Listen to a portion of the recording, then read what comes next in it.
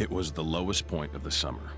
I had single-handedly destroyed America's future in space. But it's when they're at their lowest point that great men take great action.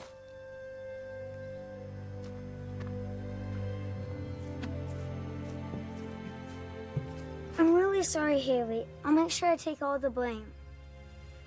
Can I ask you something? Sure, I guess. It's just, where's David? I thought he'd come back.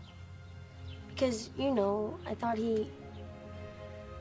Never mind, forget it, it's stupid. It's not stupid. He does. Does what? Likes you. He does? Duh. Then how come he never said? Boys don't do that. Did you ever tell him?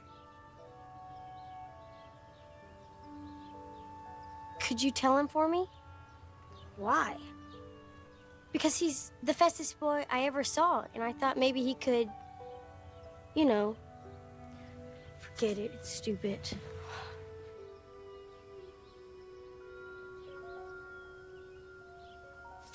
No, it's not stupid. Wait here. I'll be back.